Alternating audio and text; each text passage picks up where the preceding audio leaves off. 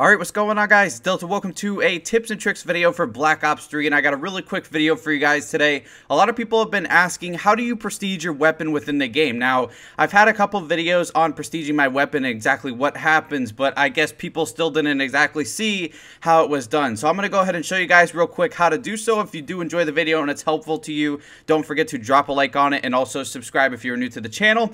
But let's get started. So in order to prestige your weapon within Black Ops 3, you have to make sure that your weapon is maxed out. Say, for instance, I have the KN44 right here, and the weapon level is maxed. Now, if I go to a weapon that isn't maxed, obviously it's not going to allow me to prestige it. So it has to be maxed out. Now, what you're going to want to do is if you're on Xbox One or PlayStation 4, Xbox One, you're going to hit Y, and a PlayStation 4, you're going to hit triangle like this. And then it's going to say enter weapon prestige, and it's going to say reset the weapon level for the KN44 or whichever gun you're prestiging. And then it takes off all your attachments and stuff, but in exchange for that, you get clan tags or you'll get the kill counter and stuff like that. And you're going to go ahead and hit enter weapon prestige. And once you do that, all your attachments are going to be gone, and then you're going to gain something else from that. You're going to gain the, uh, the clan tag thing, or you're going to gain the kill counter. So that's how you prestige your weapon within Black Ops 3. I hope you guys enjoyed the video and I hope it was helpful. If it was, make sure to drop a like on it. Also, make sure to subscribe to become part of the Delta Squad today if you are new.